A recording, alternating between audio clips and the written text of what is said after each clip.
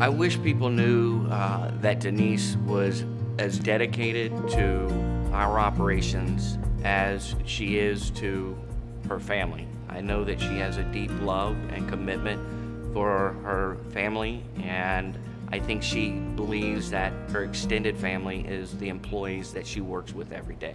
She's just a great leader that has an ability to bring teams together. She just has this great style about how she can get everyone on her team to give input and feedback and ultimately make decisions that the team really embraces. And just she has a real skill in that area and just does such a great job with that.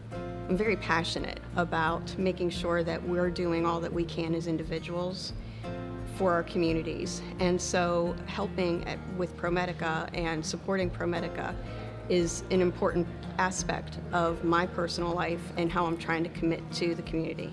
I think Denise deserves this award because she's one of the most compassionate leaders in our organization. She shows love and she shows true commitment to make sure that people have the resources they need. She understands the challenges and the uh, anxiety that goes around taking care of the elderly and taking care of those in her community.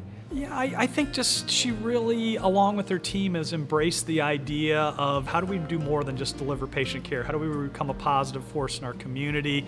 And, and she really has done that, and she's done it with action. She's led her team to find solutions and get involved with other players in the community.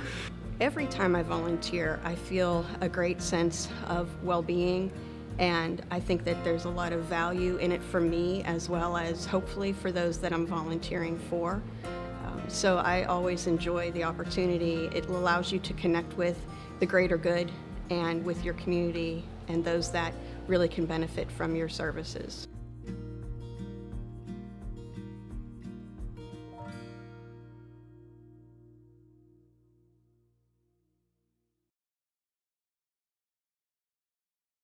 I wanted to take a moment and to thank everybody for um, the acknowledgement of the Eastern Division in as it relates to the community outreach.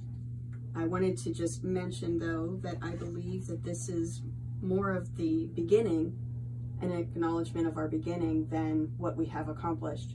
As I believe that there's so much more to come in how we're going to be able to integrate positively within our communities. So thank you again. It is appreciated and more to come.